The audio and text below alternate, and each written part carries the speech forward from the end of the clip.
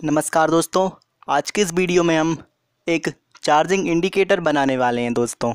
क्या होता है दोस्तों, हम बैटरी को चार्ज पर लगा देते हैं।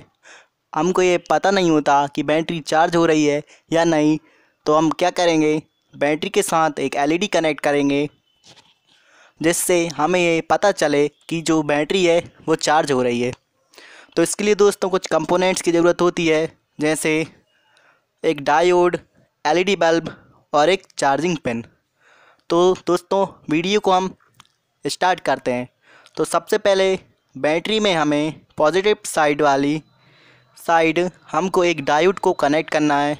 डायोड का नंबर है चार हज़ार सात। तो कुछ इस तरह से हमने इसको दोस्तों कनेक्ट किया है। इसके बाद आप एलईडी कनेक्ट करेंगे। तो दोस्तों देख सकते हैं कि एक साइड एलईडी जल रही है। और दूसरी साइड नहीं जल रही। तो जिस साइड से दोस्तों एलईडी नहीं जलेगी, उस साइड हमें इसको कनेक्ट करना है। जब हम दोस्तों इसमें चार्जिंग वाली पिन कनेक्ट करेंगे, तभी ये एलईडी जलेगी। तो दोस्तों, अब हम इसमें चार्जिंग वाली पिन लगाते हैं।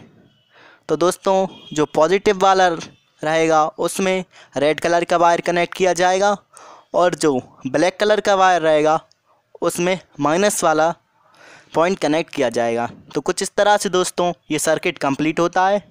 अब दोस्तों, बात रही इस बैटरी को चार्ज करने की तो हम इसे दोस्तों अपने मोबाइल चार्जर से भी चार्ज कर सकते हैं।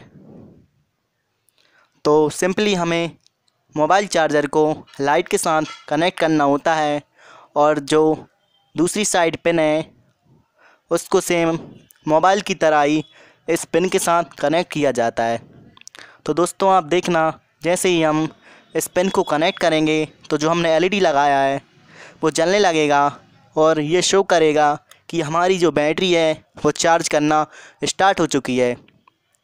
तो इस तरह से दोस्तों, हम एक चार्जिंग इंडिकेटर बना सकते हैं अपनी बैटरी के लिए, जो हमें इंडिकेट करेगा कि हमारी बैटरी एक्चुअली में चार्ज हो रही है।